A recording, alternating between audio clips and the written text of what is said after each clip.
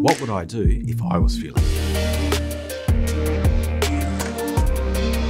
There are a lot of new technologies uh, coming up in transport now. Traditionally, it's all about building roads, but we're ch changing focus now, and the advent of new technologies is really driving that, particularly autonomous vehicles. We've been testing an autonomous shuttle bus, so we can look at that next generation of technology, how we can apply these autonomous vehicles to our current and future transport systems. We're going to see these systems come in sooner rather than later, and it's absolutely because of the experimentation, trials, uh, and demonstrations that we've been doing at Flinders.